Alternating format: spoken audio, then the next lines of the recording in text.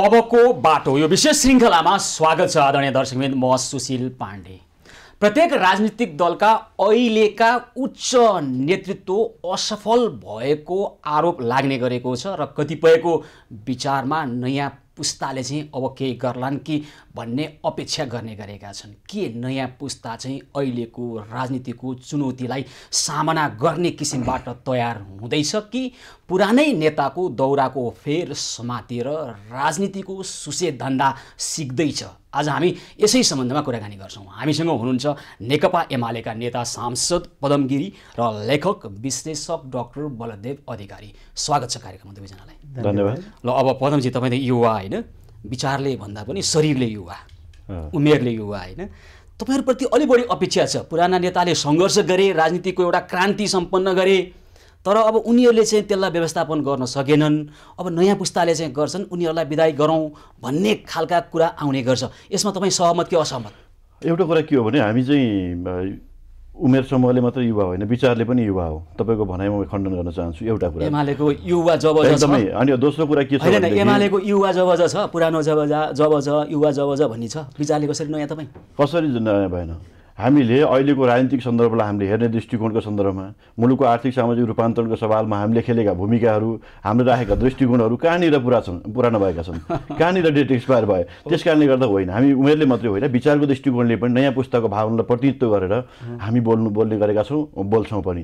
र अर्को कुरा तपाईँले जुन प्रसङ्ग उठाउनु भयो पुराना नेताहरूले एउटा राजनीतिक एउटा आन्दोलनको नेतृत्व गरे र राजनीतिक यो बिन्दुसम्म ल्याए। तर त्यो उपलब्धिहरूलाई व्यवस्थापन गर्ने कुरामा चुके त्यस कारणले उनीहरू असफल भए।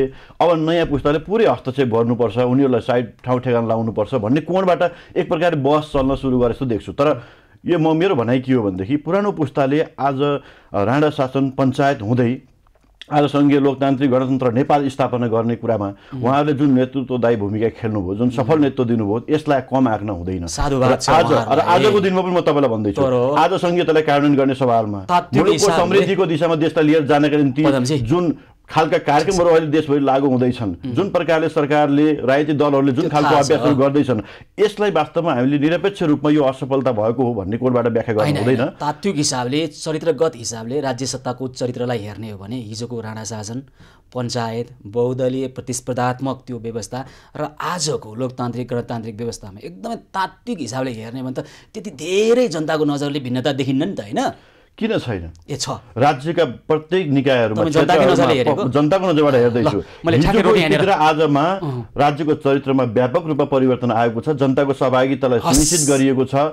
नेताहरू बढी जनताप्रति जवाबदेही बन्नुपर्ने तपाईँहरू जस्ता मिडियाप्रति जवाबदेही बन्नुपर्ने देशप्रति राष्ट्रप्रति जवाबदेही बन्नुपर्ने जनताले सूक्ष्म ढङ्गले नेताहरूका चाहिँ दिनचर्याहरू गतिविधिहरू नेताहरूले लिएका कदमहरूलाई जनताले विश्लेषण गर्न सक्ने लेभलमा चेतना स्तरको विकास भए अनुरूप त्यो अनुसारका व्यवहारहरू प्रदर्शन गर्नुपर्ने। यस्ता धेरै क्षेत्रहरूमा ठुला परिवर्तनहरू आए आए। नआएको भन्न मिल्दैन। हुन्छ लेखक विश्लेषक डाक्टर बलदेव अधिकारी अधिकारीजी तपाईँलाई चाहिँ के लाग्छ? युवा पुस्तामा जुन अपेक्षा गरिएको छ पुराना पुस्ताले अथवा अहिलेको उच्च नेतृत्वले राजनीतिक एउटा परिवर्तनको लागि योगदान गर्यो तर ती उपलब्धिलाई संस्थागत गर्ने राष्ट्र र जनताका समस्यालाई समाधान गर्ने किसिमबाट व्यवस्थापन गर्न सकेन भन्दै युवा पुस्ताप्रतिको अपेक्षा तपाईँलाई चाहिँ लाग्छ अपेक्षा?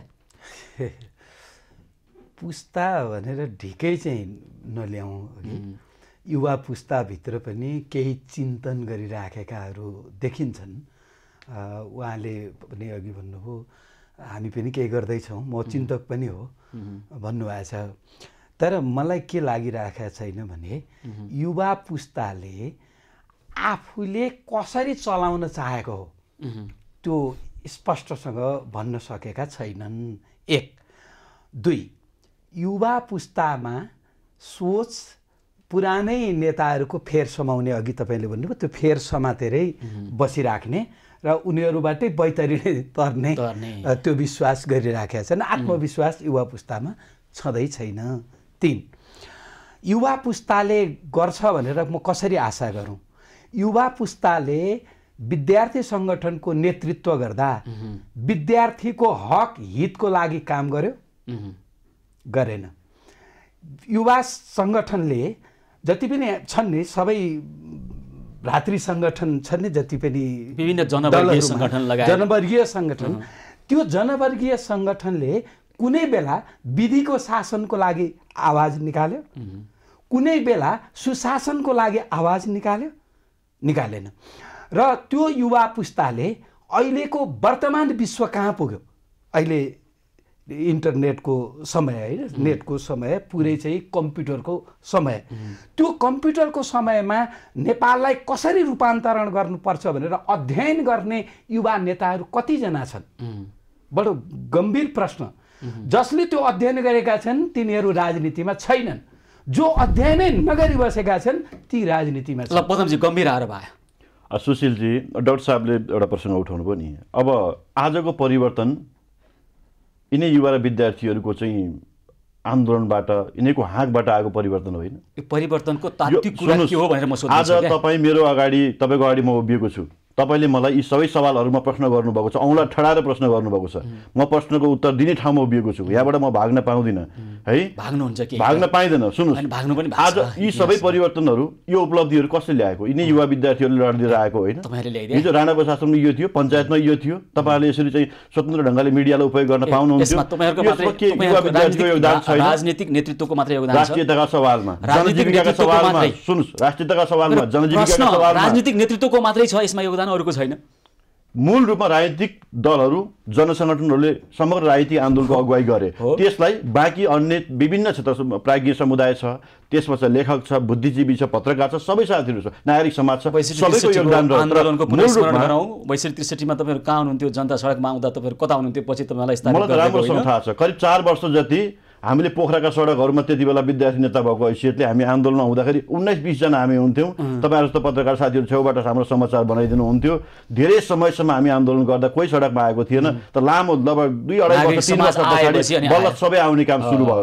र त्यो पर्गेल्ने परिस्थितिलाई पर्गेल्ने अवस्था निर्माण गर्ने काम त तिनै युवा जे। जस्तो सकारात्मक उपलब्धि छन् सबै तपाईँहरूले गरेको तपाईँहरूलाई जस दिनुपर्छ। र अहिले पनि आशा गर्नुपर्छ। त्यही हो तपाईँको तर्क? एउटा कुरा के भने राजनीतिभन्दा बाहिरबाट होइन? अनि राजनीतिक जुन आन्दोलनबाट प्राप्त हुनुपर्ने उपलब्धिहरू हुन् त्यो त्यो बाहिरबाट हामी उपलब्धि त्यो हासिल गर्न भन्ने अहिले के कोणबाट भइरहेछ ल व्याख्या हेरौँ त। गर्नु अहिले के हुँदैन, भइरहेको छ ल डक्टर अधिकारी अहिले के भइरहेको छ भने नेकपा एमाले भित्रको भाड फैलो हिजोको नेकपा एमाले र माओवादी केन्द्र मिलेर बनेको एमालेको के अरे नेकपाको भाँड फैलो अहिले पनि हेर्ने हो भने नगर्नु पर्ने काम जम्मै गर्नलाई उद्धत गर्नुपर्ने काम निकै पनि नगर्ने।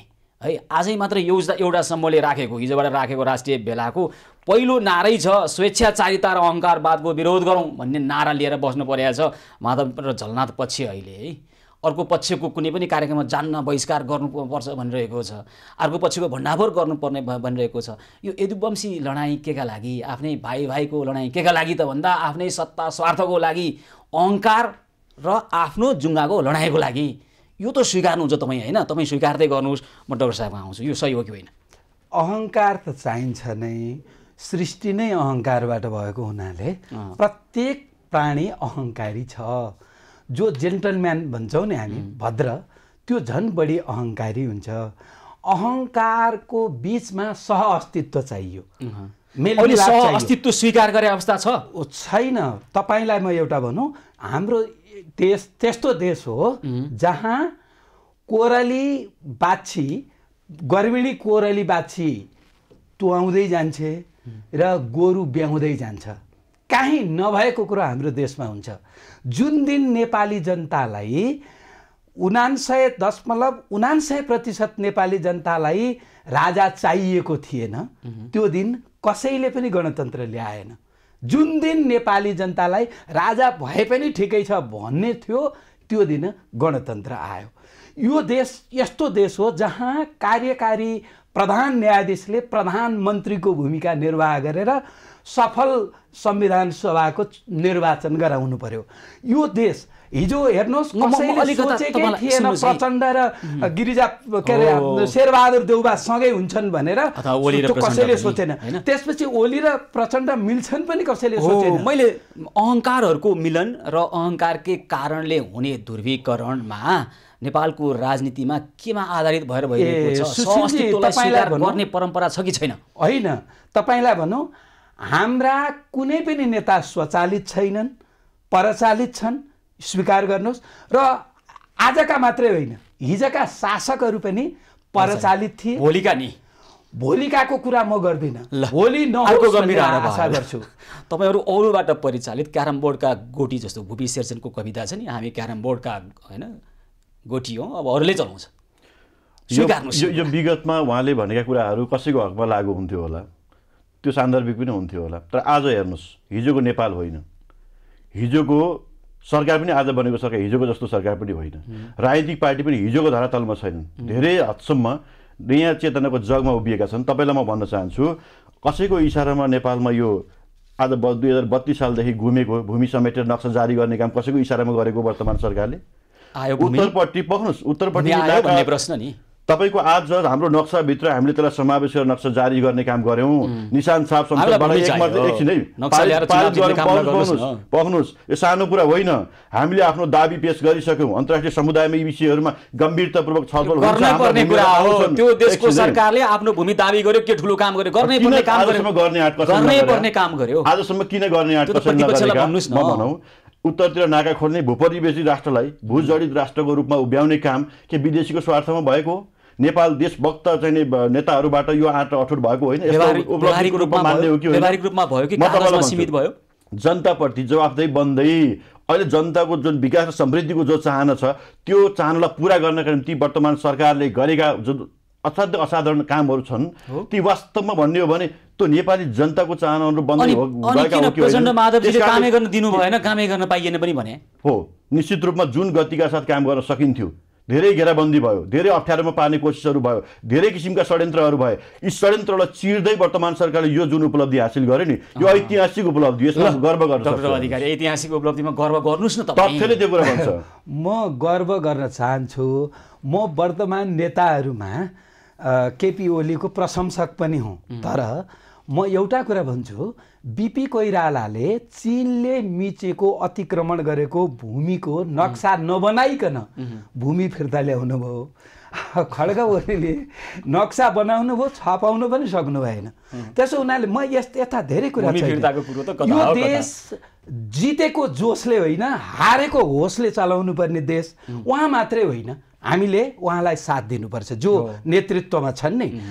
तर ऊ नेतृत्वमा रहनेले सह अस्तित्वको स्वीकार गरेर अरूलाई पनि समेट्दै अस्तित्वको कुरा गरिरहनु भएको छ नेकपा एमाले एकअर्कोलाई दुई गुटले के? ओली पक्ष र अहिले माधव र झलनाथ पक्षले सह अस्तित्व अस्वीकार गरेका कारणले अर्को फुट आउँदैछ। हिजो नेकपा त फुट्यो फुट्यो अब फेरि भन्ने कुरो छ। तपाईँ सह अस्तित्व सह अस्तित्व भन्नु भएको छ होइन? थाहा छ यो सह अस्तित्व भने के हो पदमजी? सहअस्तित्व जनरल भाषामा चाहिँ अब सबैले एक्लै अर्काको अस्तित्व स्वीकार गरेर अगाडि बढ्ने? यहाँ त अस्तित्व त के भयो भने पार्टीको अध्यक्ष पहिलो अध्यक्ष हिजोको नेपाल कम्युनिस्ट पार्टी नेकपाको पहिलो अध्यक्ष सम्माननीय प्रधानमन्त्री केपी शर्मा ओलीलाई होइन? एउटा अभियोग पत्र दर्ता गर्ने भ्रष्टाचारी करार गर्ने मेरो एकैछिन सुन्नुहोस् है। संहिता विरोधी करार गरिदिने स्वेच्छाचारी करार गर्ने सारा नेपाली शब्दकोसँग भएका सबै कुरा के लगाएर आरोपहरू दर्ज गर्ने र त्यसलाई करार गर्ने काम गर्ने काम त्यहाँबाट सुरु हुन्छ। हामी केन्द्रीय कमिटीमा हाम्रो बहुमत छ। तपाईँलाई भ्रष्टाचारी करार गरेर हामी निर्णय गरेर पार्टीबाट पदच्युत गरिदिन्छौँ हटाइदिन्छौँ भन्नेसम्मका निर्णयहरू गर्छन् र त्यस्ता हरकतहरू भए पार्टीभित्र हामीले देख्यौँ। पार्टी अध्यक्षबाट हटाउने संसद दलको प्रमुखबाट हटाउने हुँदा हुँदा पार्टी सदस्यबाट पनि निष्कासन गरिदिने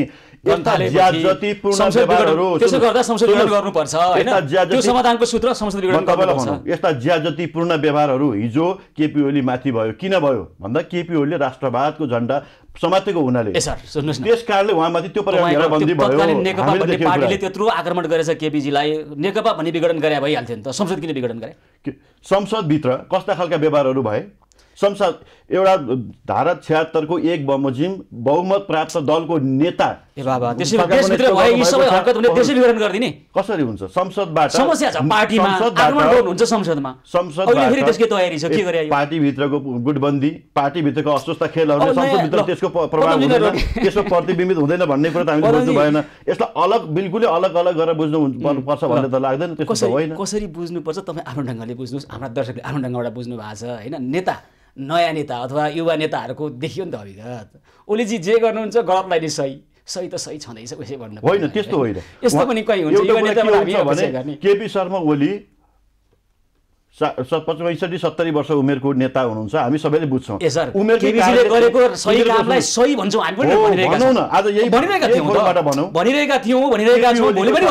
विगतमा कहिल्यै पनि।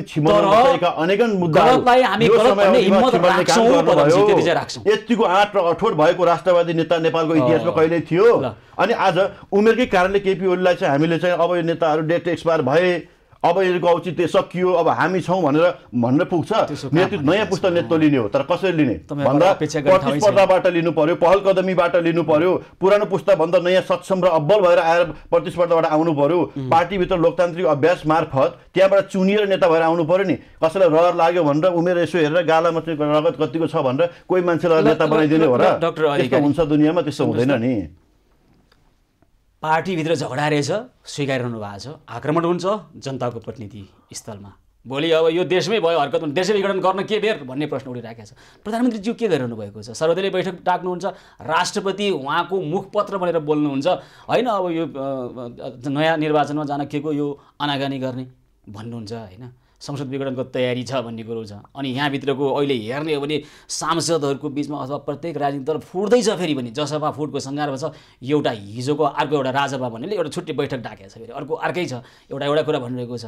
यो सबै तपाईँले अहिले अहङ्कारवाद त चाहिन्छ भन्नुभयो अगाडि सहअस्तित्व जोडेर आफ्नै अहङ्कारका लागि आफ्नै व्यक्तिगत स्वार्थको लागि गुटगत स्वार्थको लागि राजनीति गरिरहेका छन्। राष्ट्र र जनताको पक्षमा अहिले चाहिँ राजनीति गरेका छैनन् भनेर भन्न सकिन्छ ठोकुवा गरेर। यो सही हो कि होइन? मैले अघि पनि भने हाम्रा नेताहरू नेता नभएर सफल अभिनेता हुनुहुन्छ। अमरिस पुरीलाई तपाईँ भिलेन मात्रै भन्नुहुन्छ? होइन नि। कस्तो चरित्र नायक चरित्र नायकको भूमिका निर्वाह गर्दाखेरि आँसु तर चुहिने गरी अमरिस पुरीले भूमिका निर्वाह गरेका धेरै चलचित्रहरू मैले देखेको छु। अब उनी खलनायक पनि हुन्। त्यसो हुनाले म नेतालाई दोष दिन हुन्न भन्छु अहिले। म कसलाई बेला? फेरि पनि भन्छु कुनै पनि ठिक र बेठिक उहाँलाई चाहिँ बाध्यता छ। उहाँ बाट जुन जुन दलबाट निर्वाचित हुनुभएको छ त्यो दलको पक्षमा उहाँले बोल्नु भएन भने भोलि उहाँको सांसद जनताले जिता होइन? दलले निर्वाचन जिता हो जनताले निर्वाचन जिताउने अनि। दलप्रति उत्तरदायी हुने जनताप्रति उत्तरदायी हुनु पर्दैन संसदप्रति उत्तरदायी हुनु पर्दैन। अनि त्यो टिकट जनताले दिया हो। जनताबाट अनुमोदित भएर उहाँले टिकट लिया हो। नेताबाट अनुमोदित भएर लिएको टिकट त्यस कसको माननीय? म स्वतन्त्र। निश्चित रूपमा पार्टीको असको जनताको होइन। हो। पार्टीले टिकट दियो जिताउने काम जनताले गर्यो होइन? अब म अचम्म उत्तरदायीको लाग्छ म? अचम्म लाग्छ कि उत्तरदायी को प्रति म? अचम्म के लाग्छ भने जनताबाट चुनिनु पर्ने मान्छे पाँच पाँच वर्षमा आवधिक निर्वाचनमा गएर जनताबाट छानिनु पर्ने चुनिनु पर्ने मान्छे जनताको जवाबदेही भएको नहुने राष्ट्र जनताप्रति जवाबदेही छैन भन्ने अनि राष्ट्र जनताको लागि केही गरेका छैन भन्ने अनि जनताबाट चुनिनै नपर्ने जनताबाट छानिनै नपर्ने त्यस्तो मान्छे वा समूहले यो राष्ट्रलाई चाहिँ नि, योगदान दिन्छ गरेका छ र राष्ट्रलाई सबल नेतृत्व दिन्छ भनेर व्याख्या? गरिदिनु पर्ने यो दुनियाँ यो दुनियाँमा? एउटा कुरा के हो भने आज हामी माधवजी जनताबाट। झलनाथजी हो आज जनताबाट निर्वाचित भएका जनप्रतिनिधिहरूले गरेका कामहरू कर्महरू व्यवहारहरू कस्ता छन् भन्ने कुरा जनताले नजिकबाट निहालेर हेरेको छ। यदि उनीहरूका व्यवहारहरू जनताको पक्षमा राष्ट्रको पक्षमा देशको पक्षमा छैन भनेदेखि जनताले भोलि बिहान नराम्रोसँग पराजित गरिदिने कारवाही गरिदिने त भोलि जनताको आत्मत्व अधिकार भोलि बिहान। आउन्जेल आजै रात? धेरै कुरा बिग्रिसकेका हुन्छ त्यसकारण जनताप्रति उत्तरदायी भएर काम गरिदिनुहोस् न माननीय ज्यू भने अहिले वास्तवमा तपाईँलाई एकछिन सुशीलजी म बडा ध्यान आकर्षण गराउँछु अहिले नेपालमा हुनै नहुनु पर्ने देशमा यो राष्ट्रलाई चाहिँ नि विखण्ड नै बनाउने राष्ट्रलाई चाहिँ नि विकास र अग्रगमनको बाटो नै अवरुद्ध हुने त्यस्तो खालको के गतिविधि मुलुकमा भयो र। कोकोहोल मचाउनु पर्ने कारण के नेपाल कम्युनिस्ट पार्टीलाई झन्डै दुई तिहाई दिएर जनताले तपाईँहरूलाई फुट्नको लागि पठाओ। यो रडाको देखाउनको लागि पठाओ। होइन। लाज लाग्दैन तपाईँहरूलाई। जनताको पक्षमा काम हो, यही सोध्न चाहेको तपाईँलाई जसले पार्टीलाई विभाजनमा लान चाहेका छन्। त्यो पार्टी मिलाउने कर्म जसले- पार्टीको नेतृत्वलाई घेराबन्दी गरेर असफल पार्ने कोसिस गरेका छन्। मुलुकमा स्थायित्व स्थायित्व र सुशासन शासनका निम्ति जनताले जनमत दियो जनमत प्राप्त सरकारलाई पाँच वर्ष चल्न नदिने र बिचैमा ढलाएर। स्वार्थहरू पुरा गर्न लागिरहेका छन्। हो ती मान्छेहरूलाई तपाईँले प्रश्न गर्ने हो कि? गर्नुपर्छ भन्ने मेरो। समस्या छ घरमा समस्या छ छिमेकीको घरमा आक्रमण गर्नु। पार्टीमा। समस्या छ। संसदमा आक्रमण गर्ने जनप्रतिनिधि जनप्रतिनिधि स्थल पार्टीमा संसदमा भएका को हुन्? यिनै पार्टीका नेताहरू होइन। संसदमा जनप्रतिनिधिको रूपमा छैनन्। पार्टीभित्रको किचलो संसदभित्र प्रवेश गर्दैन। यस्तो त्यो अनुसारका व्यवहारहरू हुँदैन। लोकतन्त्रमा। लोकतन्त्रमा यही नै पनि हो नि त। अब हुने गरेको अभ्यास त यही हो नि। डक्टर अधिकारी है के छ त को को होला मचाउनु पर्ने? शासन गरिएकै छ? केपी ओलीजीले म मिठा मिठा भाषण दिइरहनु भएको छ। राष्ट्रपतिज्यू सदर गर्नको लागि तयारी अवस्थामा हुनुहुन्छ। हरेक कदमलाई सब ठिकठाक छ। के को को को होलो यस्तै त उहाँहरू उहाँहरूबाट अपेक्षा योभन्दा बढी के गर्ने? तर एउटा कुरा मिडियाले सुशीलजी राष्ट्रपति जस्तो एउटा सम्मानित संस्था मिडियाले राष्ट्रपति प्रकारले? तपाईँहरूले अहिले नियमित रूपमा मिडिया मार्फत होला। गर्यो उसो गर्यो भनेर जुन प्रकारले उठ्या छ नि मलाई माफ गर्नु गर्नुहोस्। हाम्रो यी कुराहरूले राष्ट्रपति। कसरी कसरी यो कुरा राष्ट्रपति। कसरी गर्नु भएको छ राष्ट्रपति आफैले एक्लै निर्णय गर्नु भएको छ हामीले संविधान पढ्नु पर्दैन। हामीले कानुन ऐन पढ्नु पर्दैन सरकारले गरेका निर्णयहरूलाई। राष्ट्रपतिले त्यो। निर्णयहरू कार्यान्वयन नगर्ने। अधिकार संविधानले कहीँ दिएको छ? अनि एउटा मुलुकको सुन्नुहोस् एउटा मुलुकको भ्रमण अगाडि सर्वदलीय बैठक बोलाउनु राष्ट्रपतिको एउटा मर्यादित काम हो। सबै आउनुभयो त्यहाँ चियापान भयो भयो। जसरी उहाँले प्रधानमन्त्रीको मुखपत्र जसरी फेरि संसद विघटन गरेर ताजा जनाथे जाने खालको कुरा मुखरित गर्नुभयो। त्यो हामीले राष्ट्रपति संस्थाको गरिमा घटाएनौँ उहाँ आफैले घटाइरहनु भएको छ। कान खोलेर सुने हुन्छ ती संस्थाहरू। मात्र राष्ट्रपति महोदयले ल्याउनु भएको होइन त्यो संस्था। तपाईँ हामी सबैको रगत बगेको छ। यो मुलुकले ठुलो मूल्य चुकाएको छ त्यो संस्थाको साख गिराउने काम उहाँ आफैले जति गर्नुभएको कसरी छ? हाम्रा प्रश्नले गरेका छैन हाम्रो प्रश्नको। आग्रह भनेको उहाँको राम्रो होस् त्यो संस्थाको साख जोगियोस् भन्ने मात्रै हो। त्यो राम्रोसँग कान खोलेर बुझ्नुहोस् त राष्ट्रपतिले दलहरूको बिचमा विग्रह भयो असमझदारीहरू बढ्दै गयो त्यसको प्रभाव संसदभित्र देख्न लाग्यो राजनीतिक अस्थिरता आउने भयो मुलुकमा जनताको चाहना सुन्नु न। तपाईँको पनि राष्ट्रपति हो तपाईँको? तर एउटा कुरा के हो भने हामी न्यायको आँखाले त हेर्नु पर्यो नि राष्ट्रपति। सुशीलजी म तपाईँलाई भन्न खोजेको कुरा के हो भने राष्ट्रपतिले एकै ठाउँमा सबै दलका प्रमुखहरूलाई बोलाएर। दलका नेताहरूलाई बोलाएर सबै। चिया खाएर एउटा सद्भावनापूर्ण सम्बन्धहरू विकास गर्नको निम्ति पहल कदमी लिइदिने कुरा के यो- राष्ट्रको हितमा छैन त्यही भएर त्यो खालको के अनौठो कुरा भयो उहाँले। राष्ट्रपतिले तपाईँले यसो गर्नुहोस् तपाईँले यसो गर्नुहोस् भन्नुभएको अलिक घसपेच भयो नि त त्यहाँ नेताहरू बिच होइन संसद विघटन गरेर फेरि जाने तयारी राष्ट्रपति लगायतको त्यो तयारीको त्यो मुखरित मुखरित भएको भएर हामीले यो प्रश्न उठायो हामी सिधा छौँ क्या कुनै संस्थाप्रति न आग्रह छौँ न पूर्वाग्रह छ राष्ट्रपति जस्तो मर्यादित संस्थालाई यसको साग गिर्न नदिने कामको लागि हाम्रा प्रश्नहरूले सहयोग गर्छन्। तिखा प्रश्नले लोकतन्त्रलाई बलियो बनाउँछ। त्यो स्वाभाविक हो, त्यो चाहिँ स्वाभाविक त्यस कारण। हामीले होइन उहाँले चाहिँ मर्यादा कायम राख्न सक्नुभएको छैन क्षमा गर्नु होला उहाँले मर्यादा राख्नको लागि तपाईँहरूले भेट्नु पनि भन्नु होला हामी त सार्वजनिक रूपमा भनिरहेका छौँ। ल डक्टर अधिकारी अब युवा नेताहरूको यही हो क्या? बाध्यता छ पदमजीलाई। यसो भनिएन भने भोलि समस्या छ। टिकट दिने हो कि नदिने हो त्यो समूहले? निर्वाचन जित्ने हो कि नदिने नजित्ने हो होइन पदमजी म तपाईँको दुःख बुझ्दछु। नजिकबाट बुझ्दछु। यो। समस्या छ। यो समस्याबाट मुक्त गरिदिउँ त पदमजीहरू सत्यलाई सही र सत्य र सत्य र झुटलाई झुट भन्न सक्ने साहस उहाँहरूमा पनि आउँछ जसरी हामीमा छ। उहाँहरूमा त्यो साहस आउनलाई लोभ छोड्नुपर्छ। त्यही भने मैले जो लोभी छ त्यो पापी छ। हेर्नुहोस् यो देश त्यसले मात्रै जोगाउँछ जसले सत्ताको लोभ गर्दैन। गिरिजा प्रसाद सधैँ सत्ताको लोभ गर्ने तिनले धरापमा पारेको पारे गरे। यहाँ अन्तर्घात तिनीहरूले सुरु गरे धेरै धेरै विवादास्पद कुरा लाउडा धमिजादेखि वा हवाईजहाज अपहरणदेखि है कि सब विकृतिहरू तिनले ल्याए। तपाईँ कङ्ग्रेसकै होइन र भने म- कङ्ग्रेसकै मान्छे हो म नि। कङ्ग्रेस होइन म स्वतन्त्र नागरिक हुँ अहिले। तपाईँ हिजो कङ्ग्रेस हुँदाखेरि पनि दुई नेतालाई नैकापको घर भनेर लेख्ने मान्छे हुँ म। नेपाली कङ्ग्रेस कि कपाली कङ्ग्रेस भनेर लेख्ने मान्छे हुँ म। गिरिजा प्रसादको सत्तामै भएको बेलामा पुतना र प्रजातन्त्र लेखेर गिरिजा प्रसाद प्रजातन्त्रका पुतना हुन् भन्ने मान्छे हुँ म। आज सबै गिरिजाकै मार्गमा हिँडेका छन् भन्ने मान्छे हुँ म। तपाईँलाई मैले भने हेर्नुहोस् बिपी कोइरालाले तिस वर्षसम्म सत्ता लिन चाहेनन् र देश जोगाए।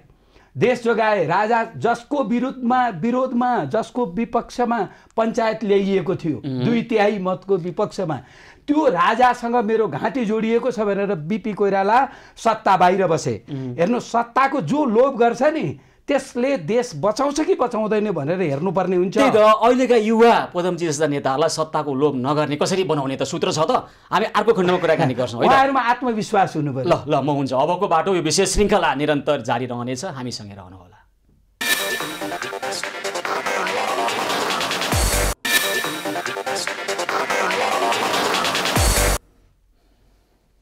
अबको बाटो यो विशेष श्रृङ्खलामा पुनः स्वागत छ आदरणीय दर्शकमित आज हामी कुराकानी गर्दैछौँ नेकपा एमालेका नेता सांसद पदम गिरी र लेखक विश्लेषक डाक्टर बलदेव अधिकारीसँग पदमजी अहिले तपाईँको दलभित्र तपाईँ त ओली समूहप्रति पर्नुहुन्छ के अरे होइन? यो जुन ओली समूह र माधव नेपाल झलनाथ पक्षको रडाको छ नि यो नि राष्ट्रको जनताकै लागि गरे हो है तपाईँले रडाको?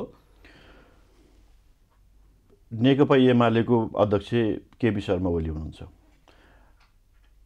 अदालतको फैसला पछाडि नेकपा एमाले माओवादी केन्द्र दुइटै बिउतियो हामी सबैलाई जाने जाहेरै छ। नेकपा एमालेको अध्यक्ष नौ महाधिवेशनले बनाएको केपी शर्मा ओलीलाई हो। तर दुर्भाग्य यहाँ के भएको छ भने नेकपा एमालेकै नेताहरू माधव नेपाल झलनाथ खनाल लगायतका नेताहरू आफ्नो पार्टीको अध्यक्षसँग अब बदलिएको परिस्थितिमा कसरी छलफल गरेर अगाडि बढौँ भन्ने भन्दा पनि उहाँहरू त्यहाँबाट पेरिस डाँडातिर कुद्न सुरु गर्नुहुन्छ। अनि अनि कमरेड प्रचण्डसँग बसेर बडा चाहिँ उहाँको त्यहाँ रुवावासी हुन्छ। बस्नुहोस् रुवावासी के हुन्छ सुन्नुहोस् है। रुवावासी के हुन्छ? हेर्नुहोस् हामी अब एमालेमा फर्क्यौँ। कुनै बेला नेकपा एमालाई सके कब्जा गर्छौँ। सकिन्छौँ भने पनि एमालाई विभाजन गरेर फुटाएर भए पनि तपाईँकोमा लिएर आउँछौँ। त्यस कारणले गर्दा त्यति बेलासम्म धैर्यता गर्नुहोस् भनेर त्यहाँ रुवावासी गर्नुहुन्छ। अनि आफ्नो पार्टी केन्द्रीय कार्यालयमा आउनुहुन्न धुम्बराई आउनुहुन्न। कहिले अर्याल होटलमा बस्नुहुन्छ कहिले बैङ्कुटमा बस्नुहुन्छ कहिले कहाँ पार्टी प्यालेसमा बस्नुहुन्छ र अनि गुटगत भेलाहरू गर्ने। र त्यसपछि पार्टी अध्यक्षलाई मानवर्धन गर्ने अपमान गर्ने लान्छित गरेर चुन- यही मिडिया मार्फत म चुनौती दिन चाहन्छु। नेकपा एमालेमा उहाँहरूसँग बहुमत छ भने बहुमत देखाएर निर्णय गर्नुहोस्। नत्र भने उहाँहरूले तपाईँहरूका ऊर्जा होइन बडा दुर्भाग्यपूर्ण कुरा के छ? हिजो नेपाल कम्युनिस्ट पार्टी नेकपा जुन थियो त्यो पार्टीको विधान अनुसार जति बेला बहुमत अल्पमतबाट निर्णय गर्न पाइँदैन थियो त्यति बेला उहाँहरू बहुमतको डन्डा चलाएर पार्टी अध्यक्षलाई कारवाही ऊर्जाशील। तरिकाले औलो टेबलमा ठोकेर बोल्नुभयो है यस्तै ऊर्जाशील? तरिकाले यो देशको समस्या समाधान गर्नु यो देशमा यति वर्षभित्र यो देशको बेरोजगारी हटाउँछु भनेर यो देशका चेलीबेटी बेचबिखन भइरहेको छ हामी यो देशमा यति वर्षपछि हटाउँछौँ त्यो त्यो अन्त्य गर्छौँ भनेर यो टेबल। औँला टेबलमा ठोक्या भए राष्ट्र जनताको पक्षमा राजनीति गरेको म सवाल- स्वीकार्थेँ तपाईँले उठाएका सवालहरूको लागि नेपाल कम्युनिस्ट पार्टी नेकपा एमाले बलियो हुनु पर्यो? सुदृढ हुनु पर्यो एकताबद्ध हुनु पर्यो। बलियो थिएन। गुटगत मानसिकताको अन्त्य हुनु पर्यो। तिन वर्ष बलियो थिएन हट्यो यो देशको समस्या हटाउने प्रयास गर्नुभयो तपाईँहरूले। हेर्नु तथ्याङ्क हेर्नुहोस् विगत तिन वर्षमा कति सुधार भएर आयो हेर्नुहोस् कागजमा हेर्नुहोस्। कागजमा हेरेपछि यति सुन्दर देखिन्छ नेपाल हेर्नुहोस् उहाँ। कागजमा हेर्नुहोस् न चुच्चे नक्सा कहाँसम्म किन चाहियो भूमि? व्यवहार होइन कागज हेरौँ। ल पदमजीको राम्रो सल्लाह आयो। ल ल ल डाक्टर अधिकारी यही हो नि त यो एमालेको रडाको केका लागि राष्ट्रको लागि जनताको लागि? सुशीलजी यी प्रत्येक कम्युनिस्ट नेता मात्रै होइन। शेरबहादुर देउवाको विगत पनि हेर्नुहोस् जुन दिन उहाँहरू राजनीतिमा आउनुभएको थियो नि जुन जोसले साँच्चै नै देश र जनताकै पीडाले पीडित भएर राजनीतिमा आउनुभएको थियो। मैले भोट त दिइनँ प्रचण्ड र केपी ओलीको सङ्गठनलाई तर मलाई के आशा थियो भने त्यो दुर्भाग्यपूर्ण कुरा उहाँको छोराको देहान्त त्यही चुनावकै सन्दर्भमा भयो। छोरीको पनि भइसकेको थियो।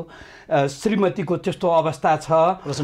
साँच्चैको वैराग्य आएको। यो वैरागी नेताले केही गर्छ? मलाई आशा थियो। अनि खड्गप्रसाद ओलीका त छोराछोरी कोही छैनन्।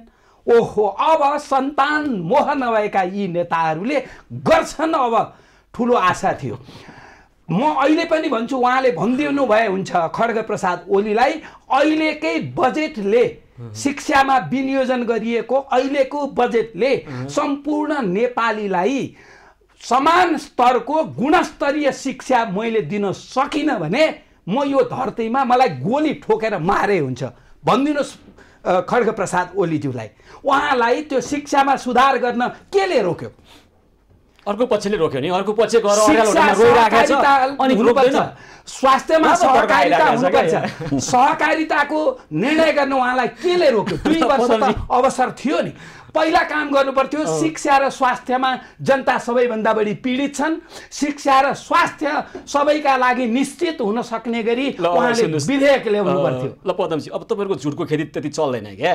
तपाईँहरूले यो देशको सबै समस्या यति वर्षभित्र समाधान गर्छु यो यो काम गर्छु भनेर श्वेतपत्र जारी गरेर काम भटाभट सुरु गरेर अनि त्यहाँ प्रचण्ड र माधवले अनि झा त्यहाँ चाहिँ हाल्या भए भाँजो हाल्या भए अनि हामीले प्रश्न गर्थ्यौँ तपाईँहरू राष्ट्र जनताको पक्षमा काम गर्नमा अल्मलिरहने अनि काम त गर्न लाग्यो हो नि। अर्याल होल्टेमा फलानु रोयो पेरिस डाँडामा फलानुलाई आँसो झार्यो भन्ने तर्कको यो झुटको खेती कति सहने हामी कति सुन्ने हामी? सुशीलजी यो सरकारले यस्तो काम गर्नु पर्थ्यो यो गर्न सकेन। जनजीविकाको सवालमा यो गर्नु पर्थ्यो राष्ट्रियताका मुद्दामा यो गर्नु पर्थ्यो। सङ्घीयता कानुनको सवालमा यो गर्नु पर्थ्यो आर्थिक समृद्धिका सवालहरूमा यो गर्नु पर्थ्यो सरकारले यो काम गर्न सकेन भनेर प्रचण्ड र माधव नेपालले झलनाथ खनालले कहिले भनेको सुन्नु भएको छ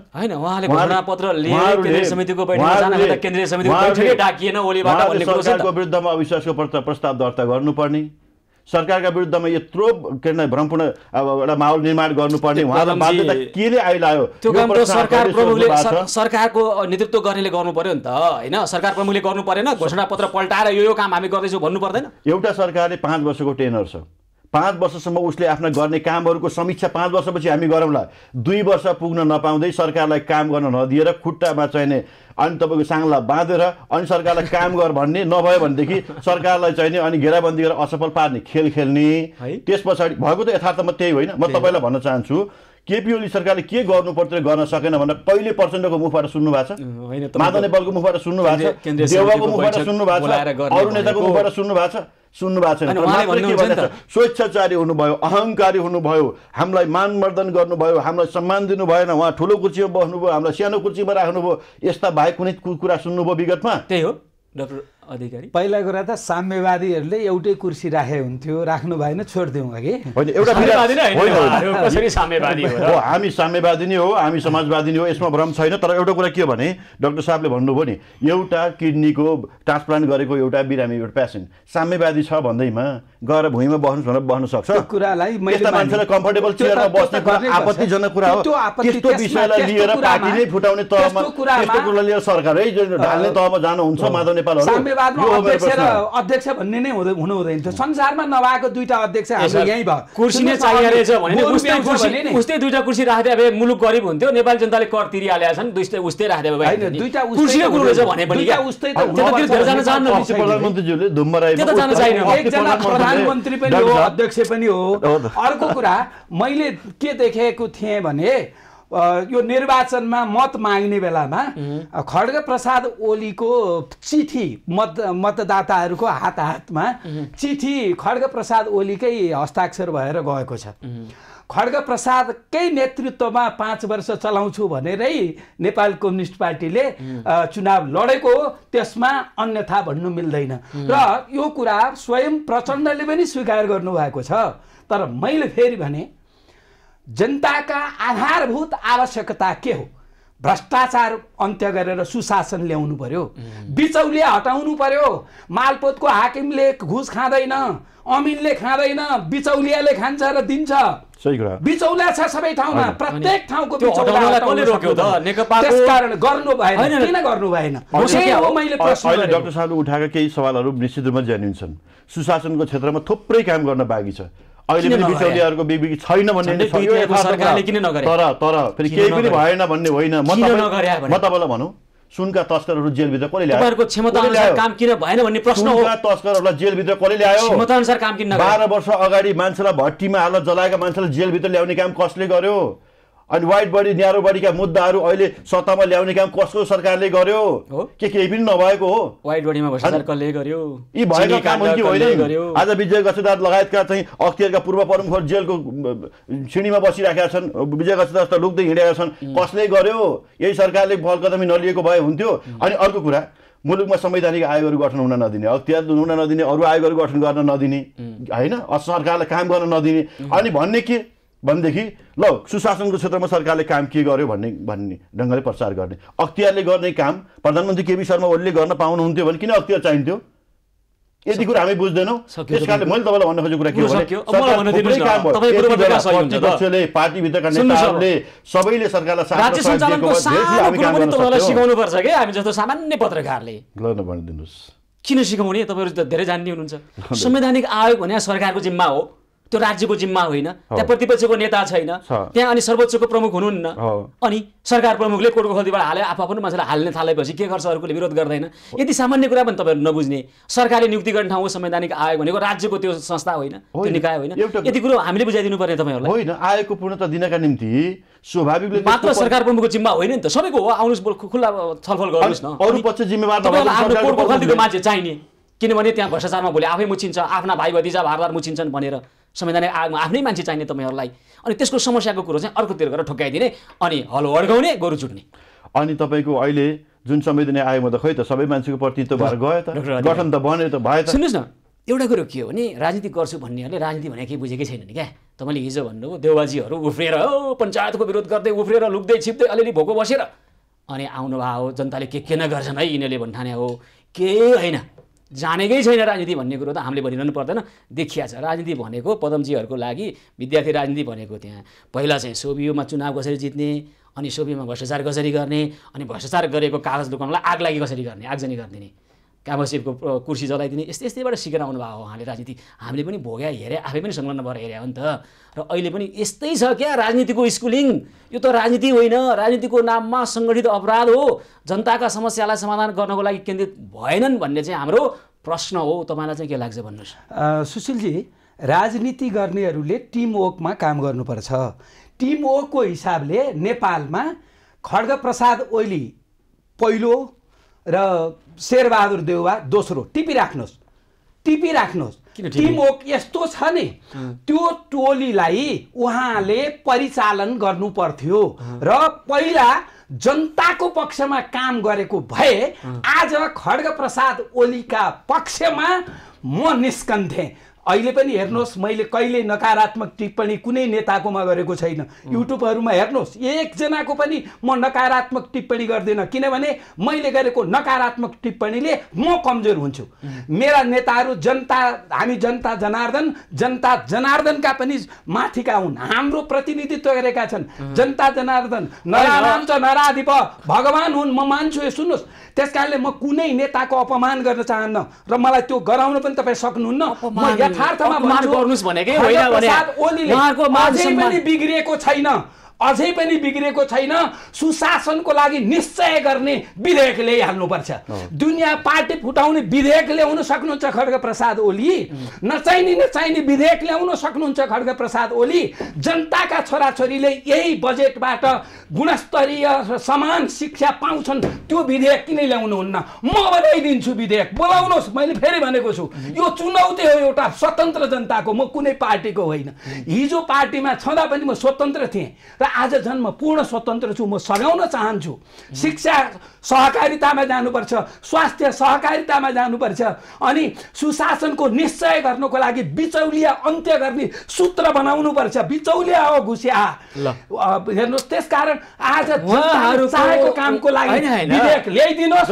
खड्गे प्रसादको पक्षमा भोलि म निस्कन्छु अग्रपङ्क्ति उहाँहरूको अहिलेको राजनीतिक ऊर्जा त्यतातिर केन्द्रितै छैन भने अब माधव नेपाल र झलनाथ खनालजीहरू चाहिँ जब जबको मूल्य मान्यता अनुसार ओलीजीको भण्डाफोर गर्न थाल्ने रे। ओलीजी चाहिँ उहाँहरूलाई कुनामा पाए अचेट्ने छेउमा पाए घचेटेर लडाइदिने। उहाँहरूको ऊर्जा त केमा खर्च भइरहेको छ? तपाईँ जस्तो शिक्षामा स्वास्थ्यमा जनताको जनजीविकामा होइन। जनताको त मतलबै भएन नि। जनता त एक दिन भोट हाल्छन् सकिहाल्यो। भोलि नमस्कार हजुर भनिहाल्छन् होइन? त्यो बाहेक जनताको कामै छैन। उहाँहरूको काम चाहिँ एकअर्कालाई सिद्ध्याउने हो कि? तपाईँले ठुलो अपेक्षा गर्नुभयो तर उहाँहरूको ऊर्जा चाहिँ यही होइन त। तपाईँहरूको काम अब डाक्टर साहबले अहिले पछिल्लो समय जुन कुरा उठाउनु भएको छ यो अत्यन्तै सान्दर्भिक छ। यसलाई फेरि अन्यथा भन्न हुँदैन। सुशासनको क्षेत्रमा शिक्षा स्वास्थ्य जस्ता सवालहरूमा राज्यले जिम्मेवारी ओनरसिप लिनुपर्छ भन्ने जुन सवालहरू उठाउँदै हुनुहुन्छ यसलाई एकदमै मेरो तर्फबाट पनि पुरै समर्थन छ। सरकारले यसतर्फ पर्याप्त ध्यान दिनुपर्छ नेपाल जनताले। चाहेको छ सुन्नुहोस्? र मैले यो- भन्दै रहँदाखेरि फेरि के हो भने विगत दुई अढाई वर्षको बिचमा भएका कामहरूलाई हामीले नजरअन्दाज गऱ्यौँ त्यसलाई चाहिँ केही पनि होइन भन्न थाल्यो भने अवस्तुवादी भइन्छ र खर्च म- हुन्छ, म राष्ट्र त्यही बनाउनुको लागि प्रश्नमा होइन, जाँदैछु। हो कि होइन? म त्यही प्रश्नमा जाँदैछु र अहिले कुरा के हो भनेदेखि नेकपा एमाले भित्रको जुन विवाद छ नि पार्टी अध्यक्ष सामान्य प्रधानमन्त्री केपी शर्मा ओलीज्यूले एकदम खुला दिलले भन्नुभएको छ हिजो जुन नेपाल कम्युनिस्ट पार्टी नेकपा हुँदाखेरि जे जस्ता काम र कर्महरू भए आफ्नै पार्टीको अध्यक्षलाई सदस्य पनि नरहने गरी कारवाही गरिदिने बहुमत छ हामीसँग। अब केपी ओलीलाई देखाइदिन्छौँ भन्ने पुरा हुङ्कार दिने या बोल्न पाइन्छ भन्ने नाटक गर्ने लागा कपडा खोलेर फाल्ने यस्ता अनेक अनेक दृश्यहरू नेपाली राजनीतिमा देखियो। आफ्नो नेताका विरुद्धमा आफ्नो नेताका विरुद्धमा त्यसप्रति प्रयासित गर्नुहोस्। आत्मआलोचित हुनुहोस्। रियलाइजेसन गर्नुहोस्। मलाई कुनै इर्ष्या छैन। यो पार्टी एकताबद्ध बनाएर लिएर जाउँ। म तपाईँहरूलाई स्पेस दिन्छु। र तपाईँहरूसँगै म काम गर्न तयार छु प्रधानमन्त्रीले भन्नुभएको छ। त्यही सन्दर्भमा पार्टी के अरे बालुवाटारमा चाहिँ चियापानको सद्भावनापूर्ण बैठकहरू आयोजना गरेर चियापानको कार्यक्रम किन गर्नुभयो भन्दा हिजो तिक्तता भयो। असमझदारीहरू भयो। त्यति बेला तिता नमिठा कुराहरू बोलियो? तर अब चियापानसँग यो कुरा बिर्सौँ भनेर प्रधानमन्त्रीले। मेरो कुरा सुन्नुहोस्। न। बैठक बोलाउनु भयो त्यसमा नजाने। आज संसद दलको बैठक बोलाउनु भएको छ दलको नेताले केपी शर्मा ओलीज्यूले। दलको बैठकमा नजाने हेरिटेज होटलमा बस्ने सांसदलाई प्रत्येकलाई फोन गर्दै धम्क्याउने अनि पार्टी विरोधी यस्ता? तत्त्वहरू यस्ता गतिविधिहरूलाई? अब हेरेर भन्न सकिन्छ। हामी सुने मलाई त त्यो आँट गर्नु पर्यो नि। मलाई फोन गर्ने आँट गर्नु पर्यो नि। प्रत्येक सांसदलाई आयो भनिरहनु भएको आयो सांसदहरूलाई धेरै सांसद आयोलाई अब आयो त्यहाँबाट आएका सांसदहरू निस्केर। हामीले देखेको कुरा हो नि। आज। संसद दलको बैठकमा नेकपा एमालेका संसद दलका सदस्यहरू बाहिनीहरू त्यो बैठकमा जानुपर्छ कि पर्दैन? पदमजी, कि बाहिर गर्नुहोस्, बसेर गर्नुहोस्। गुटगत भेला गर्नुहोस्। गरेर। अनि नेतृत्वको विरुद्धमा चाहिँ यस्ता पदमजी, गर्न पाइन्छ? गर्नुहोस् गर्नुहोस्। यो भन्न खोजेको तपाईँलाई मैले भन्न खोजेको कुरा के भने। तपाईँ मिडिया मार्फत मैले के तपाईँहरू एकाअर्कालाई गाली गर्नु सकिनुहोस्। राजनीति गर्ने अनुहार भोलि जनताको अगाडि कसरी देखाउने तपाईँलाई के, छैन सुशीलजी, गर्नुहोस् है गर्नुहोस्। सुशीलजी। यसमा पार्टीको अध्यक्षको हैसियतले सम्मान्य आफै प्रधानमन्त्रीज्यूले गर्नुहोस्। आज उहाँले जुन प्रकारले पार्टीको एकता कायम गर्नका निम्ति जुन प्रयत्न गर्नुभएको छ नि। त्यसलाई र पार्टी विभाजनमा लागेका माधव नेपाल समूहका मान्छेहरूलाई एउटै डालोमा हालेर व्याख्या गर्ने कुरा न्यायसङ्गत हुँदैन है। भन्ने कुरा मात्रै मैले यहाँ राख्न खोजेको अधिकारी अब उहाँहरू एकाअर्कालाई गाली गर्ने सचिने जेसै गरे गरे त हुन्थ्यो तर दल भने के रहेछ भने नि जनतालाई उसले जनताले मूल्य तिर्या हुने रहेछ के र दलले गर्ने क्रियाकलापले अहिलेको राजनीतिले अहिलेको पुस्तालाई मात्र होइन आउँदो नजन्मेको पुस्तालाई नै प्रभाव पार्दो रहेछ।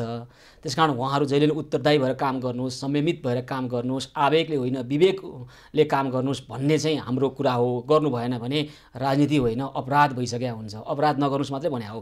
सकिनुहोस् न तपाईँहरू सकिनुहोस् तपाईँहरू जानुहोस् अर्को पार्टी आउँछ नि। नेपालको इतिहासमा त्यस्तो भएको छैन र कुनै समय प्रजा परिषद ठुलो थियो। हामीले त हाम्रो आग्रह के हो भने तपाईँहरू राम्रो हुनुहोस् तपाईँहरू सचिनुहोस् आफ्नो मर्यादा राख्नुहोस् गरिमा राख्नुहोस् तपाईँहरू देख्दा सम्मान भाव आओस् जनता र राष्ट्रको पक्षमा काम गर्नुहोस् मात्रै भने हो अन्यथा केही नि भने होइन। त्यति भन्दा हुँदैन। मान्दै मान्दैन। भिडबाट हाम्हाल्नै पर्छ भिड्नै पर्छ लड्नै पर्छ अहङ्कारको तुष्टि गर्नै पर्छ। यसलाई राजनीति भन्छन् होइन के गरे हो। होइन हाम्रो देशमा जुन जुन शासक जोसिला भए नि तिनलाई विदेशीले टिक्न दिएनन्। विश्वेश्वर प्रसाद कोइराला युवा अवस्थामा जोसिला थिए दुई तिहाईको मत स्वाहा बनाएर प्रजातन्त्र समेत सँगसँगै गयो उनको जोसले। युवाको कुरा हामी अघि गरिरहेको थियौँ। युवा अवस्थामै एमाले मान्छेको टाउको काटेको। सुतिराखे मान्छेको। अहिले परिपक्व भएको छ युवा अवस्थामै प्रचण्डले मान्छेको मान्छे संहार गर्ने सशस्त्र आन्दोलन गरेको। अहिले सचेत भएका छन् नेताहरू। गरेन। जितेको जोसले होइन कङ्ग्रेसले कङ्ग्रेसले चाहिँ गरेको तरिका फरक छ है। कङ्ग्रेसले सशस्त्रसँगै सशस्त्र गर्यो। यता यिनीहरूले। निशस्त्रलाई पनि गरे। होइन सशस्त्रसँग होइन ढालेको। र होसकै मान्छे हो अ, केपी ओली। उहाँले सन्तुलन मिलाउनलाई चिनलाई अमेरिकालाई र अमे- भारतलाई यो तिनवटा देशको सन्तुलन मिलाउनै पर्छ नेकपाको सरकार नेकपा पार्टी भन्ने चाहिँ विदेशीले ढालिदियो। अस्ति नेकपा पार्टी फुटाइदियो विदेशीले। हो। प्रचण्ड स्वयं स्वीकार्नु भएन। हामीलाई सरकारमा पुऱ्याइदेऊ। तपाईँ हामी तपाईँहरूको निम्ति कम्फर्टेबल हुन्छौँ। केपी ओली कम्फर्टेबल छैन? म कम्फर्टेबल छु। विदेशीहरूसँग मिल्ने सत्तामा पुग्ने यहाँ देशभक्त राष्ट्रवादी शक्तिहरूलाई कमजोर पार्ने सरकारबाट हटाउने यो चलखेल त भएकै छ त। त्यसमा हाम्रो नेताहरू गोटी भएर त लाभ परिचालित भयो त यो त तथ्यले देखाएको कुरा हो नि। भनेको सुन्नु भएन। हामी कम्फर्टेबल छौँ तपाईँहरूको लागि हाम्रो सत्तामा पुऱ्याइदिनुहोस् भनेर भनेको तपाईँ हामीले सुनेनौ। दक्षिणी छिमेकीको अनि यी सबै कुरा प्रश्न सुन्नु अनि। तपाईँ के भन्नु तपाईँले यहाँ संवादमा छौँ। दक्षिणी छिमेकीको दक्षिणी छिमेकीको दक्षिणी एउटा उनी आउने सचिवै आउने होइन? त्यसपछि रका प्रमुखै आउने बालुवाटारमा रातो कार्पेट बिछ्याउने अनि उहाँको योजना अनुसार काम गर्दै जाने ओलीजीका त्यो हरकतलाई चाहिँ के भन्ने? मान्छेहरू। जोसुकै आउन्। देशको अहितमा राष्ट्रको अहितमा नेतृत्वले कमजोरी गर्छ भनेदेखि त्यति बेला हामी औँला ठडाएर प्रश्न गर्छौँ? तर तर चाहे रको एजेन्ट आओस् चाहे अरू कुटनीति नियोगका मान्छेहरू आओस् तर यहाँको सरकारले देशको हितमा राष्ट्रको हितमा काम गरेको छ राष्ट्रियताको पक्षमा काम गरेको छ भने नतिजा हेर्ने अरू कुरा हेर्ने। अब एमालेको रडाकोको यो आलोकमा नेपाली जनताका आकाङ्क्षाहरू जो वैश्विक त्रिसठीको आन्दोलनसँगै सडकमा पोखिएका थिए रगतसँगै पोखिएका आकाङ्क्षाहरू अहिले पनि सडकमै अलपत्र छाडेर उहाँहरू यदुवंशी झगडामा एकअर्कालाई सिद्धाइदिने देखाइदिने राजनीतिमा केन्द्रित हुनुहुन्छ। यो राजनीतिलाई हामी राजनीति भनिरहेका छैनौँ। यो सङ्गठित अपराध हो। गुटगत अपराध एक गुटले अर्कोलाई गरे। के का लागि गरे? के को लागि रडाको जनतालाई भन्नु पर्दैन। के का लागि भण्डाखोर हिजोसम्म एकै ठाउँमा बस्दा ठिक। अहिले उहाँहरू बिचमा कुरो नमिल्दा मात्रै भण्डाफर। यो गुटगत भेला गर्ने पार्टीलाई विभाजनमा ओलीजीको पनि पुर्याउने, गुटगत भेला त हो नि। र पार्टीलाई विग्रहमा पुर्याउने मुलुकमा एउटा वितण्डा मचाउने जुन अराजकता सिर्जना गर्ने जनतामा भ्रम सिर्जना गर्ने जुन प्रवृत्ति छ त्यो प्रवृत्तिलाई तपाईँको यो प्रश्न असाध्यै कामयाबी हुन्छ। तीप्रति औँला ठडार्ने प्रश्न तपाईँले गरिदिनुपर्छ भन्ने कुरा मेरो भनाइ हो। ओलीजीले जे भन्यो त्यसलाई सही भनेर ताली बजाउनु पनि छोड्नुहोस् तपाईँहरू पनि। मैले भन्न खोजेको चाहिँ जनता र राष्ट्रको पक्षमा केन्द्रित भएन। राजनीति कसरी बनाउने कसरी यो उहाँहरूको रडाको हेरेर बस्नलाई अभिशप्त छैन नेपाली जनता। त्योभन्दा निकै राम्रो कुरो डिजर्भ गर्छन् है नेपाली जनता। यो लाजमर्दो कुरो भयो गर्ने के भन्ने चाहिँ हाम्रो प्रश्न अब गर्नुपर्ने के हो? सुशीलजी ओलीजीले मात्रै त्यो नाकाबन्दीको बेला बेलामा अडान लिएको होइन। नेपाली जनताले सय रुपियाँको पेट्रोललाई हजार रुपियाँ तिरेर ओली तिमी अघि बढ भनेको हो। ओलीजी शिक्षालाई सहकारी गर स्वास्थ्यलाई सहकारी गर अनि त्यसपछि सुशासनको ग्यारेन्टी गर। म तिम्रो लागि मर्न तयार छु। एक दुई तिन। के चाहियो तपाईँले?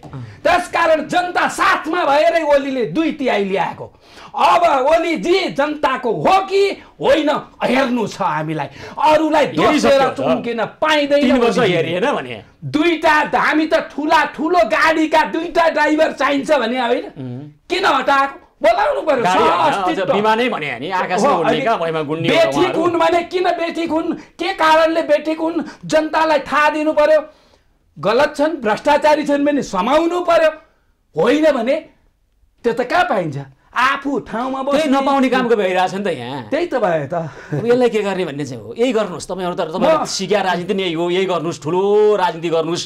तर राष्ट्र जनता चाहिँ पाउँदैन म हजुरहरू मार्फत आम चाहिँ अब नेपाली दाजुभाइ दिदीबहिनीहरूलाई भन्न चाहन्छु हामीले विश्लेषण गर्दाखेरि अन्त्यमा सयबारी खर काट्ने मान्छेको मूल्य र मूल्याङ्कन र हस्। सयबारी खर डराउनेको मूल्याङ्कन एउटै गर्नु जनताले। दिन्छन् नि मूल्याङ्कन होइन अहिले। कसले के गरिराखेको छ भन्ने कुरा हामी। वस्तुवादी भएर तथ्यसङ्गत भएर वास्तवमा चाहिँ विश्लेषण गर्नुपर्छ।